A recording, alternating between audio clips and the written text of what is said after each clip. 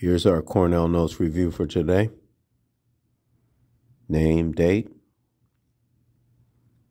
Cornell note on figurative language. Date notes were taken. She took hers uh, today, you took yours yesterday. A. Similes are a type of figurative language. There is only one type of figurative language. Alliteration is not considered a type of figurative language. Metaphors and similes are considered to be the same thing. Label find which is true about figurative language. What is true about figurative language? That's the look for the what. Eliminate. B. Analyze. I eliminated B, C, and D. There is not only one type of figurative language. Alliteration is considered a type of figurative language, and metaphors and similes are not considered the same.